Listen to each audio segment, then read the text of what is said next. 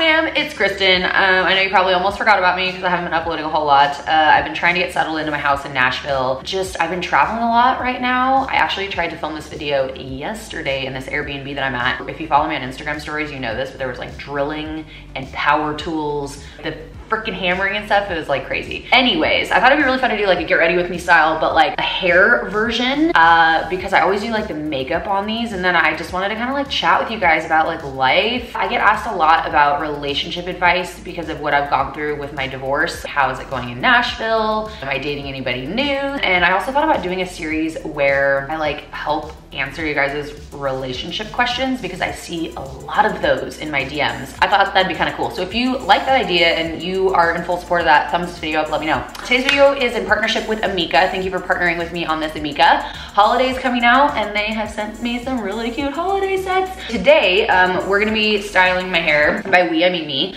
with the Smooth Operator set. Ah, this is a $210 value for $120. This comes free.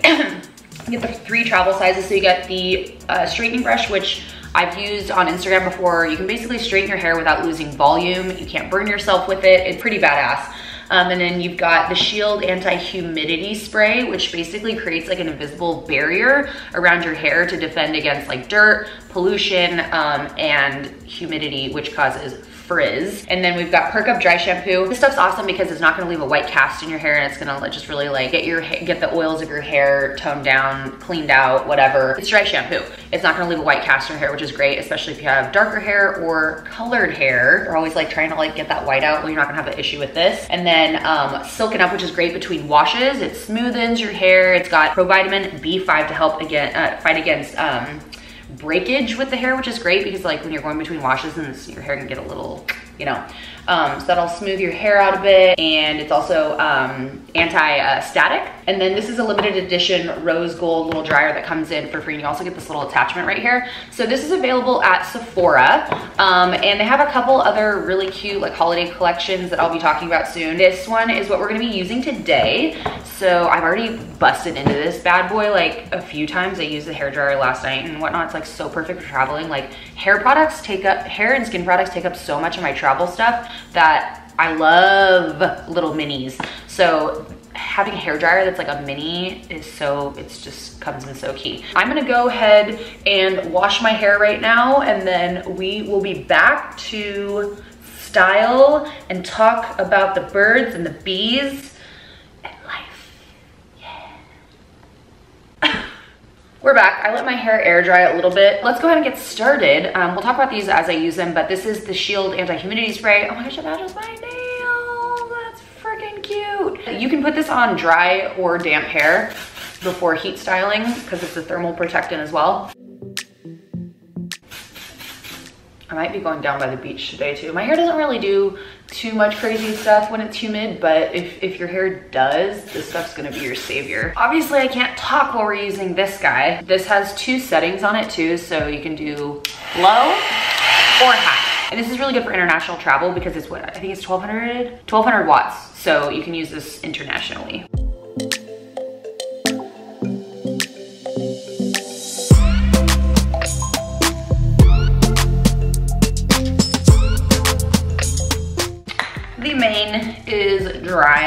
Really need to use this, but I do want to protect against breakage, so I am going to use um, Silken Up Dry Conditioner from like the mid-lengths to the ends because I don't need any more breakage. And then these little guys, it's actually my real hair up here. These guys like are so thin and fine and always want to break.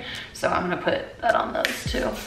Oh my gosh, so Nashville has been so freaking amazing. I've been absolutely loving Nashville. TBH, I've been drunk for like a month straight since I got there. But I, I literally was there for like, like a few weeks, I guess and then I was out traveling. Um, I was in Vegas and whatnot. So I feel like I've, I haven't really had a chance to really settle in. And I've talked about this on Instagram a little bit, but I've been a little bummed because I was gonna save some money and put my studio on the third floor, but it's just too echoey up there. It's like a loft, so it's not gonna work. But I'm gonna use the Perk Up Dry Shampoo just to give me a little bit of body, not to soak up any oil, obviously just wash my hair, but just to give me a little, like my hair is so fine and um, I like to use the dry shampoo just to give me a little bit of something extra up there, you know, and I'll tease it.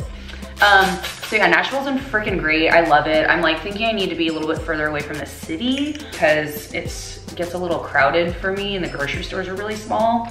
And me like eating so many veggies, it's like the veggie section needs to be like on point and the veggie section's lacking a little bit in Nashville. So let's talk about dating, shall we? Nothing's official. I'm not like putting that on the internet right now, but I am seeing somebody and I'm pretty fucking excited about it. He's like probably one of the most amazing dudes I've ever met so far. It's crazy. It's like when you come out of a relationship where you don't feel like you were treated right and like you meet somebody who treats you like amazing. It is just so crazy, like the difference. It's just, oh my gosh, it's it's crazy. It's freaking crazy. Like it feels really good. Like I've never felt more like beautiful in my whole life, I guess I could say. I'm gonna use my teasing comb just to give a little bit more body at the root. You guys know how I do it, like never will walk around with like flat hair. so yeah, so that's going really great. Um, unfortunately, well not unfortunately, he lives here in San Diego, so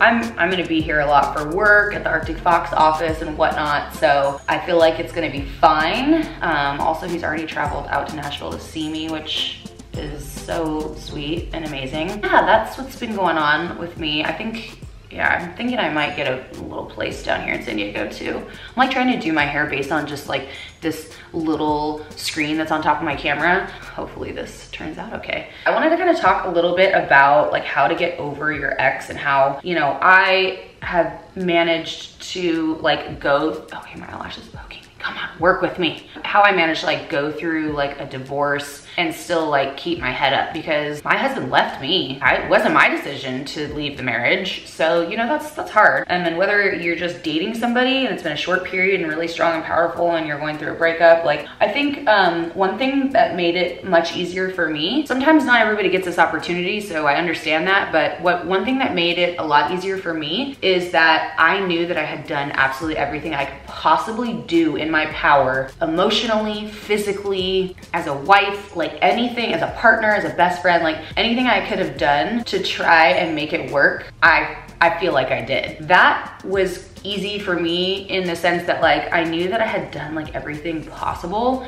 to make this shit work and the other person just wasn't giving that back. And so like, what else do you have to give after that? You know, like what else is there? There's nothing left.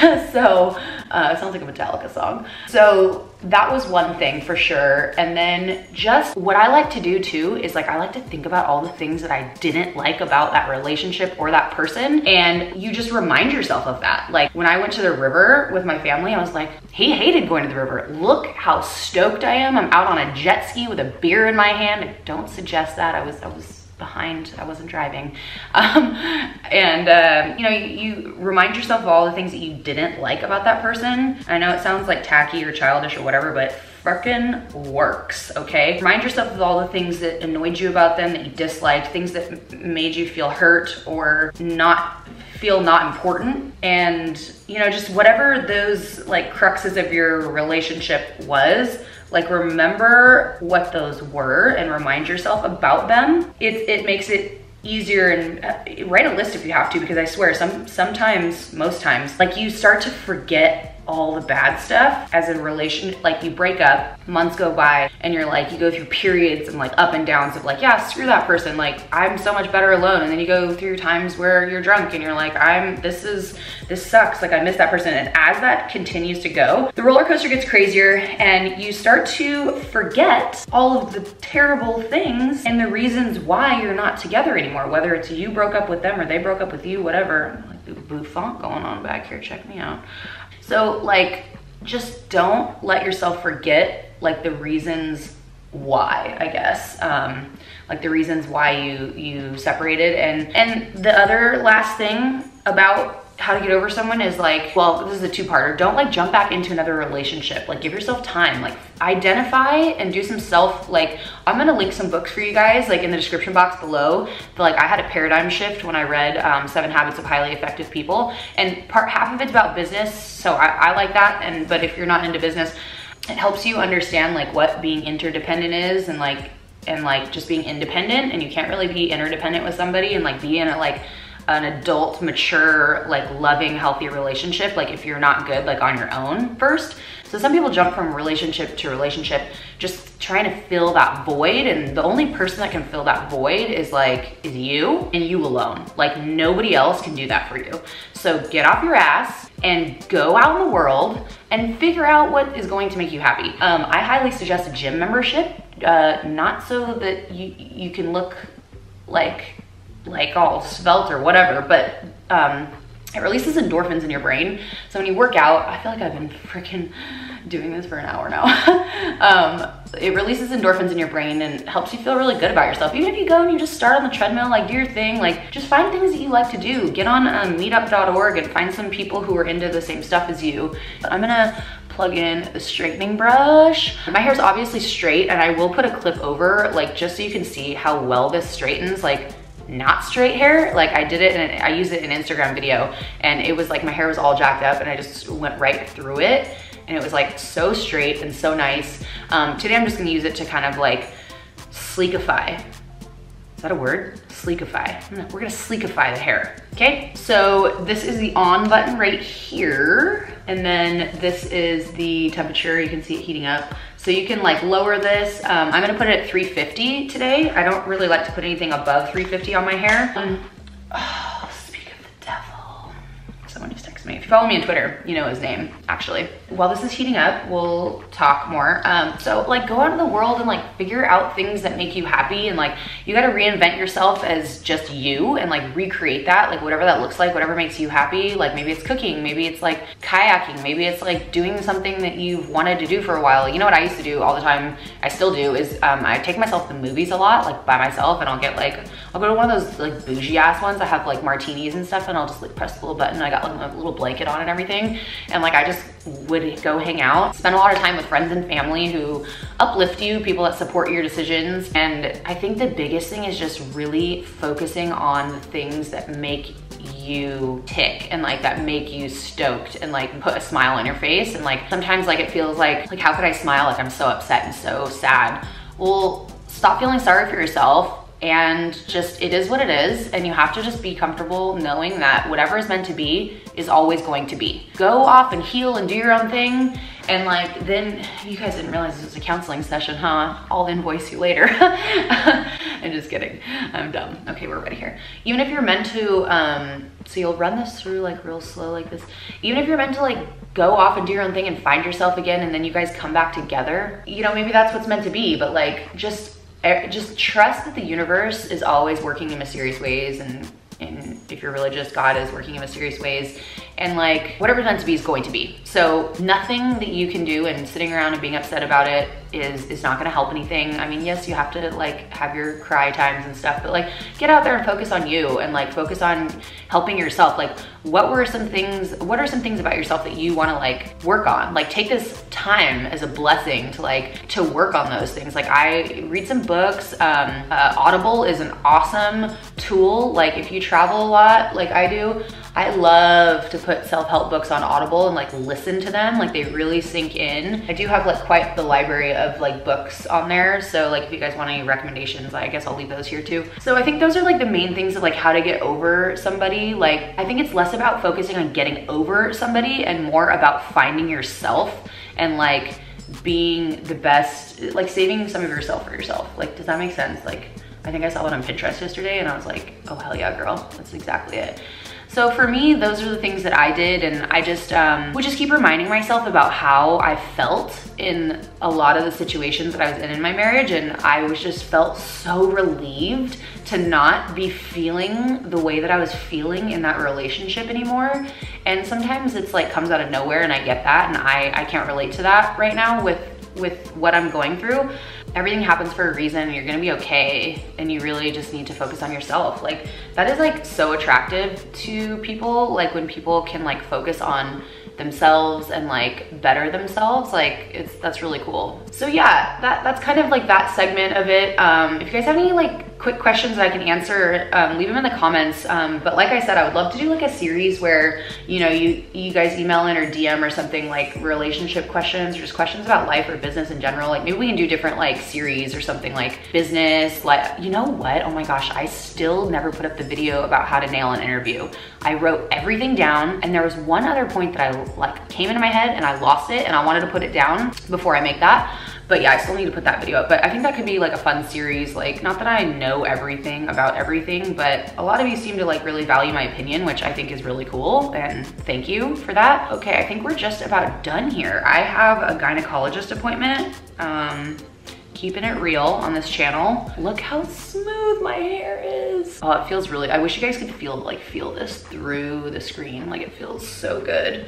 But thank you guys so much for watching. I feel like I didn't get enough time to talk about more stuff because like that just, everything in here just made this like so easy to do so quick. I love Nashville. It's, it's great. I love Tennessee. I love the South. I love the people there. I'm actually, um, for the first time ever, not going to spend Thanksgiving with my family and I'm doing a Friendsgiving. I'm not doing it, but my friend Brian is. He actually sold me my house in Nashville. He's doing a Friendsgiving and so we're all gonna like cook. He's funny, he texted me the other day, he's like, can you cook? I'm like, told you a thousand times I can cook. Um, so we're gonna do like a Friendsgiving and then we're gonna go to the honky tonks and like super long like faux fur like coats. It's gonna be super fun. So that's what I'm doing for Thanksgiving. It'll be the first time that I'm not with my family. I just like, I'm leaving here on the 20th to go back to Nashville. So it just seems like a little, a little too long if I just stay here Thanksgiving too. Like I miss my animals so badly. Anyways, I loved sitting down and filming this um, for you guys and I just love chatting with you. It's a lot of fun. So thank you guys for watching um, and supporting me by doing so. Again, this uh, Smooth Operator set kit is um, available exclusively at Sephora. So I will link that for you guys in the description box below. And we will see you in the next video. Give me some video ideas. I feel like, I feel like a little like, I've been traveling so much and my studio's not set up. I feel like a little fresh out of like creative juice. So let me know in the comments below. I love you guys and we'll see you in the next one.